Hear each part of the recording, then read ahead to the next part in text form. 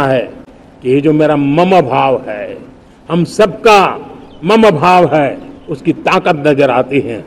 हमारे ट्रांसजेंडर समाज के प्रति हम जिस संवेदना के साथ निर्णय बना रहे हैं, हम नए नए कानून बना रहे हैं, उनको सम्मान का जीवन देने के लिए हम प्रयास कर रहे हैं, तब बदलाव की हमारी दिशा सही दिखता है।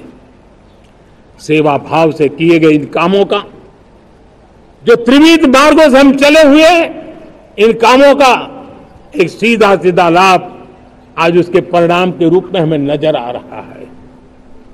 साठ साल बाद लगातार तीसरी बार आपने हमें देश सेवा का मौका दिया है।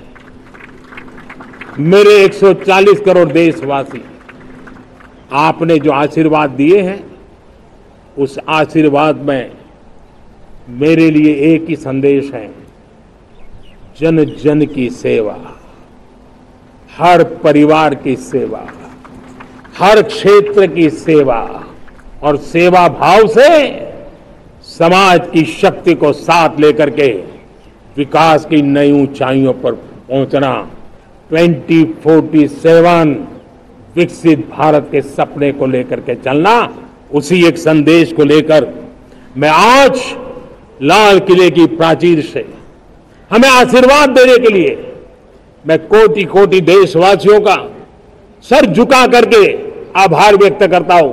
मैं उनके प्रति नतमस्तक होता हूँ और मैं उनको विश्वास दिलाता हूँ कि हमें नई ऊंचाइयों को नए जोश के साथ आगे बढ़ना है।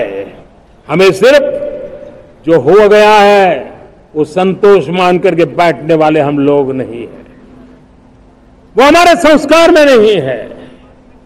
हम कुछ और करने के लिए, कुछ और आगे बढ़ने के लिए, और कुछ और नई ऊंचाइयों को पार करने के लिए हम आगे बढ़ना चाहते हैं। विकास को, समृद्धि को, सपनों को साकार करने को, संकल्प को लिए, जीवन खपाने को हम अपना स्वभाव बनाना चाहते हैं। देशवासियों का स्वभाव बनाना चाहते हैं। मेरे प्यारे देशवासियों